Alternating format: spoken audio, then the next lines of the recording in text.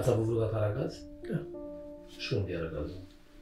Aragazul nu mai avem că să o deși la cu două ochi așa mic și nu mai funcționează. Avem doar butelie.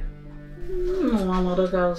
Avem un aragaz care nu ne merge, ne face figuri, nu prea merge deloc, are un oi și nu prea merge nici ăla. E greu, frate, dar ce să facem? Niciodată în viață n-am avut. Am 63 de ani și n-am avut aragaz. Cum gătiți mâncarea? La plita asta aici. La plita asta, fratele meu. la, la sobă. Că-i vară, că-i iarnă, soba asta o avem de 20 de ani. O avem. N-am aragaz, n-am... Bă, La foc, cu lemne. Da, la sobă, la sobă. La sub. La sobă, n- n-am aragaz. N-am puiule aragaz.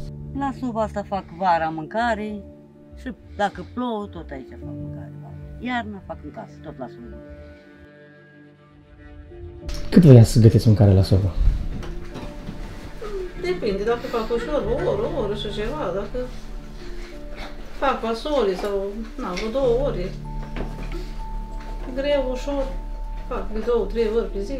Oh, poate mai bine de o oră. Mai bine. Ce ar însemna un aragaz pentru dumneavoastră?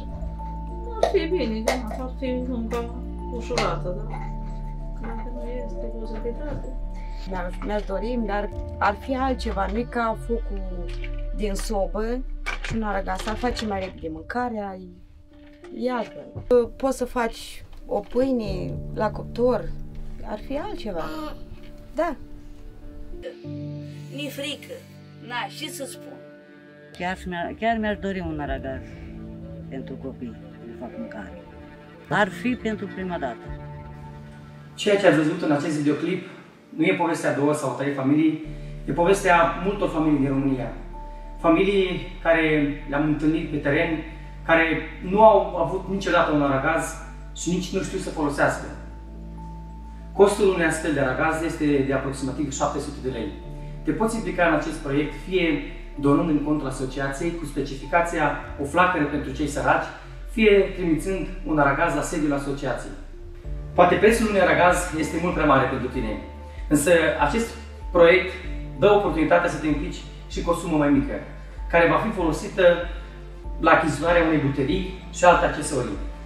Implică-te și tu în acest proiect și împreună cu Asociația Miros de Cer să ducem o flacără nu doar în casele celor săraci, ci și în inimile lor.